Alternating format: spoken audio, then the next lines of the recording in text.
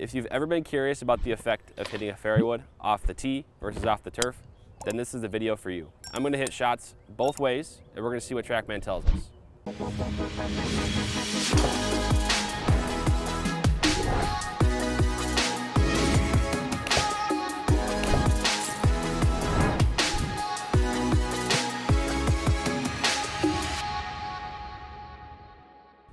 Hey golfers, I'm Drew Mahowald, Second Swing Golf. I'm joined today by Thomas Campbell, Master Club Fitter at Second Swing Minnetonka. We are outside today on the driving range.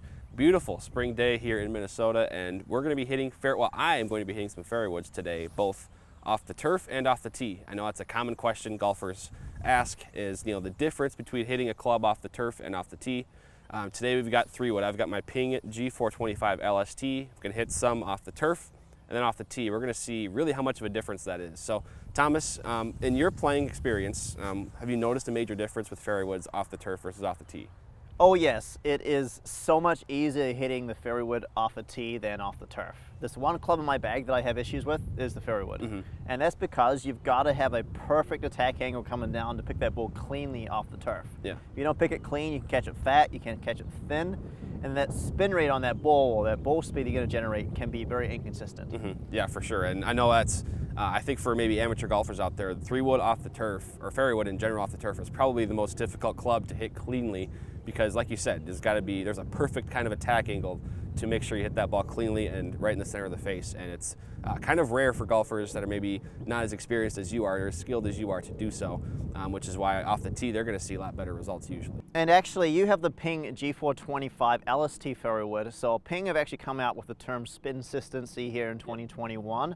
Their goal is when you don't quite catch in the middle, if you catch it just a little bit low on the face. Let's face it, if you got the ball on the ground, you're going to miss it, you're probably going to catch it a little low on the yeah. face. Spin consistency, the way the club is lofted, is to help generate consistent gapping and not have that ball balloon and spin a lot when you catch a little low on the face too. So we'll kind of test that as well. Yeah, no, there's a pretty good chance I catch a few of these shots a little bit low on the face, but um, we're going to see the differences here. TrackMan's going to show us the data uh, between me hitting some shots off the turf and then off the tee.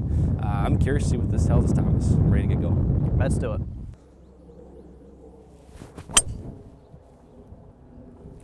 Oh, that's tugged.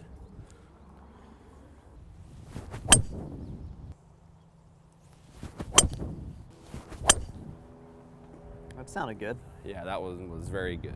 That was that small. Was... There you go. Yeah. Yeah. Okay, Drew. So we got five of six shots here to talk about. Yeah. There was there was one miss hit in there. Now hitting the club off the ground, it can be challenging. I know, had yeah. that little top there. You got your target though.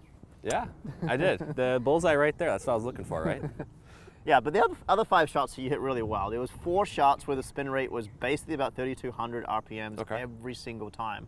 And there was one you got a little bit low on the face. We talk about when you don't quite catch it perfect with three yeah. wood.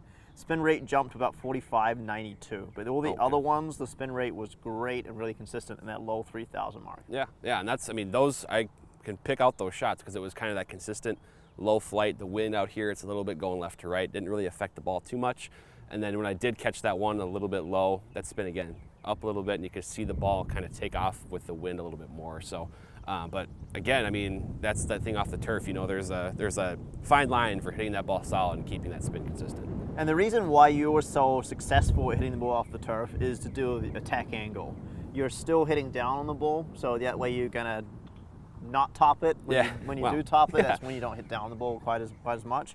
We'll notice your attack angle was actually down about on average 4.8 degrees. Okay. So it was down pretty far. Now that's the reason why we need to fit you into the LST model as opposed to a fairway wood model that would spin more because otherwise it would have spun a lot yeah, more there too. Sure. But great numbers based on the way that you were delivering the golf club. We're talking, you know, Carry distance 260.8 going 282. We had that one outlier that was 250.6 uh, going 264, but all the okay. others were in the mid 260 carry. You actually got one that you got 290.5. So wow. you did it pretty well.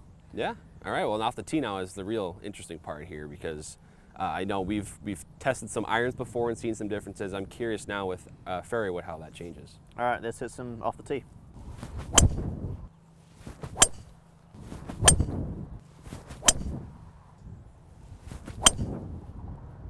That was good. Yeah. Okay, so shots off the tee versus off the turf. Could you notice any difference? Yeah, yeah, I definitely could. It felt like it was again, it's just a little cleaner. Uh, I was more confident too with the ball teed up. Um, it seemed like uh, the ball was maybe a little bit more left tendency too off the tee. I mean, that might not be right, but I felt like it was just the ball was flying a little bit more to the left off the tee. Well, they both were just a little bit left of center. Okay. Uh, the dispersion pattern with the tee was definitely much tighter. Okay. So I'm looking at the carry distance here um, with the red circle, definitely much smaller than the blue circle. Okay. So that's kind of interesting there to pay attention to. Now there was a couple you didn't catch quite perfect. You had that one 46.88, that last kind of shot there where the spin rate did kind of jump up a little bit on you there. Um, but otherwise, pretty good numbers. Um, it's kind of interesting. Your club speed, you're within, within a mile an hour. Ball speed within half a mile an hour of each other. So your efficiency Really? 149, 149. So both pretty good. Uh, off the tee, you did carry the ball six yards further Okay. um, and the ball did go three yards further overall. Okay. So it did actually just spin, we're talking 20, 30 RPMs more. So it wasn't too much, and that's because it had that one that's kind of that little outlier Yeah. off the tee with the 46.88, and then you had the 45.92 with off the turf. Okay. as well. So really, we had both that were kind of outlier. There's one outlier really with each, right? Yep. Whereas the, they each there was each kind of one that went out to the right, spun a little bit more. But um, interesting that it doesn't seem like there's that big of a difference between the the two, um, which is honestly to me, I, I felt like I hit the ones off the tee way better. But interesting that the numbers don't seem to suggest there's a huge difference. Well, you definitely delivered the golf club differently. So talking about dynamic uh, Okay. loft, we'll notice dynamic loft off the tee. We're talking about two degrees higher, and your attack angle was two degrees lower off the tee than off the turf. So two, negative 2.7 versus negative 4.8. So you didn't have to feel like you had to maybe hit down on it quite as much to get that thing off the Mm, ground. Okay. So I was kind of sweeping it a little bit more off the tee. is saying. Correct. Yeah, you're sweeping a little bit more by about two degrees. Okay. So that's you know that was it was pretty impressive. I mean, not gonna lie, when you hit those first few off the ground, I'm like, this is gonna be an interesting test because you really did hit it well off the ground today. Yeah.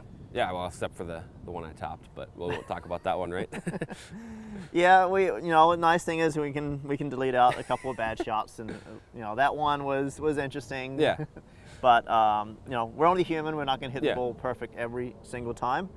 That's why playing a club that's forgiving is Mhm. kind of important. Um, top to top. I mean. Yeah, yeah. the- Well, and I think, I mean, so the takeaway here to me is that, I mean, so I've kind of been, I've always thought that, you know, you hit a three wood off the tee versus three wood off the turf, you're going to get more height and, you know, it's going to go much further. But, uh, I mean, really, there's not much of a difference, at least for me. Now, it could be different for someone else a little bit, but um, interesting that I guess it all does really depend with uh, the three wood, both off the tee and off the turf, really how you deliver the club. Because I really the big difference for me seemed to just be the way I was swinging and my attack angle on the, at the ball. Yeah, and because your attack angle was a little cleaner and your dynamic loft was a little higher with off the tee, you did fly. It did fly a little higher. Mm-hmm. So it was 99 feet in the air versus 81 feet in the air Okay. off the ground. So definitely a little difference there. Speaking of landing angle, your landing angle for three wood off the tee was 40 degrees. Off the ground, it was 35.8. Okay. So there's there's definitely differences because the way you were delivering the golf club. Fairwood is hard. It's definitely a hard club to hit. As I said, it's not my favorite club in, in the bag to Yeah. hit. I don't hit it very often. Um, I just sometimes feel like Yeah. I close my eyes and hope for the best at times. Sometimes with the fairway wood, um, it's just I just was for me it's attack angle because my attack Yeah. angle with my driver is so far up.